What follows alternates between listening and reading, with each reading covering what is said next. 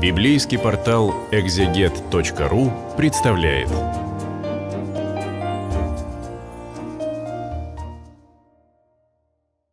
Сегодня на библейском портале «Экзегет» э, мы продолжаем наши э, беседы по э, книге псалмов царя Давида. «Господи, помяни царя Давида и всю кротость его». Сегодня мы будем читать 69-й псалом. Это маленький псалом, всего 6 стихов. В православной толковой Библии говорится, этот псалом представляет повторение содержания псалма 39 с 14 стиха, почти без э, всяких изменений. Содержание его просительного характера, на что указывается в надписании воспоминания. Э, лехаскир, лехаскир по-еврейски, воспоминания. То есть э, напоминание Господу о необходимости скорой помощи. Принадлежит он Давиду, и написан, как и указанная часть Псалма 39 по поводу гонений от Авесолома. В греческой септуагинте надписание этого псалма э, в конец Давида воспоминание о том, что спас меня Господь. Вот так. Коротко и понятно.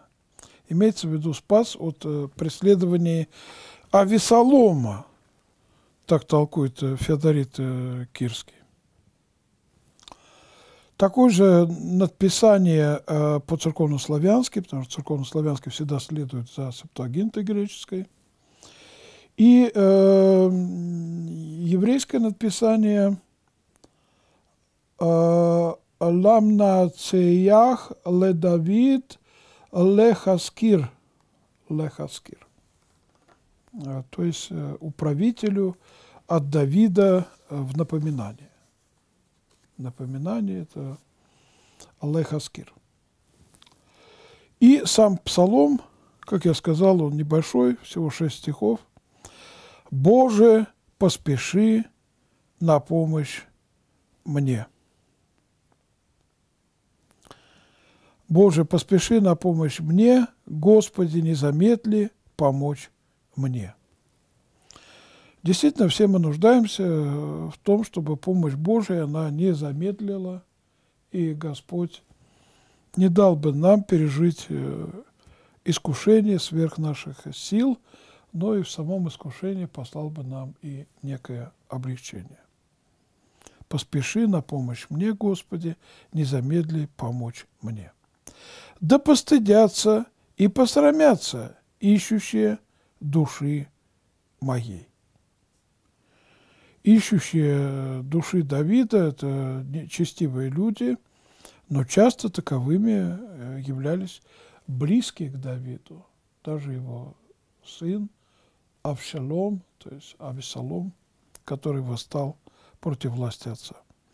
Да возвратятся вспять и устыдятся желающие мне зла, возвратятся вспять, то есть отступят от своих вот этих э, замыслов, э, которые они э, вынашивали против Давида, то есть пересмотрят отношение к нему, восстановят прежние отношения с ним.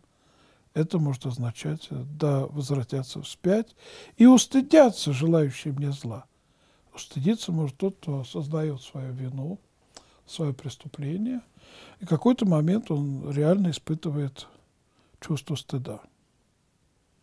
Поэтому переживающий стыд, способный переживающий стыд, это человек э, живой для покаяния, а способный покаяться, жив для Божьего прощения. И напротив, те, которые уже не испытывают никакого стыда, это люди, которые обречены к погибели, как сказано, как садомляне, не стыдятся, говорит, говорят о своих грехах открыто. Скоро да возвратятся вспять со стыдом, говорящие мне «хорошо, хорошо». То есть те, которые лицемерно общались с Давидом и как бы говорили, а в чем проблема? No problem, no problem, как сейчас говорят.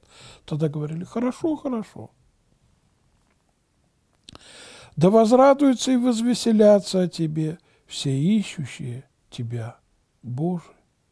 И да говорят непрестанно, любящие спасение Твое, да возвеличится Господь.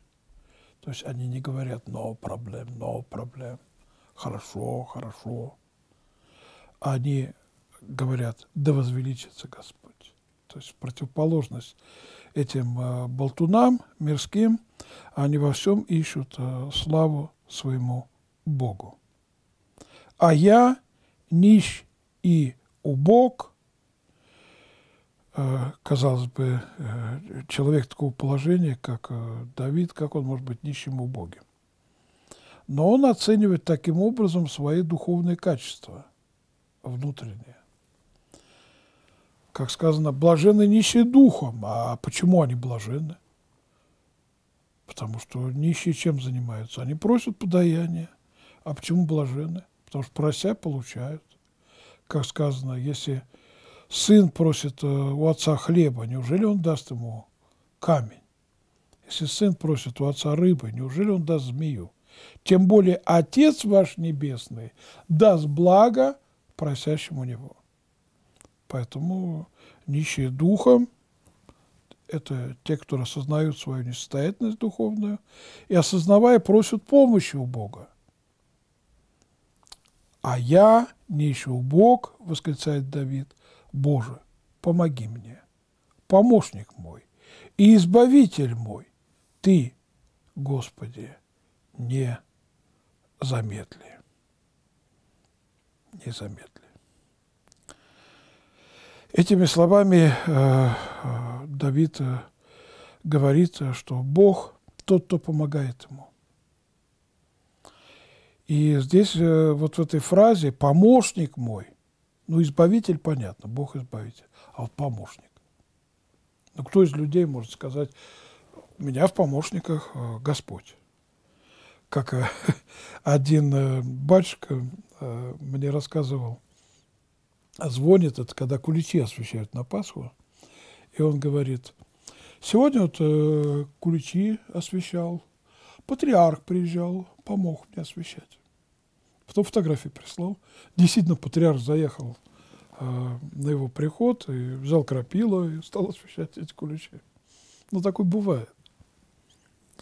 То есть Бог помощник не в том смысле, что э, он как бы в служении у Давида, а в том смысле, что, как Христос говорит, без меня не можете делать ничего, ничего у вас не получится.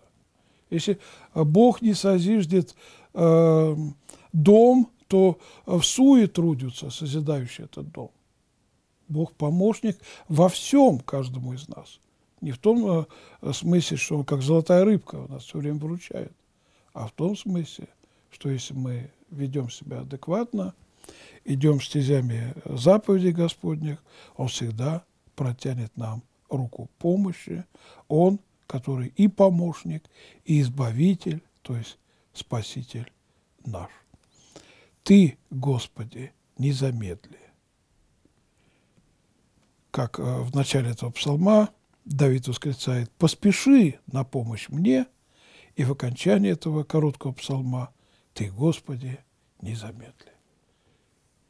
Ибо действительно, если Господь э, не приходил бы к нам вовремя на помощь, то едва ли бы мы смогли бы выжить в этом сложном мире.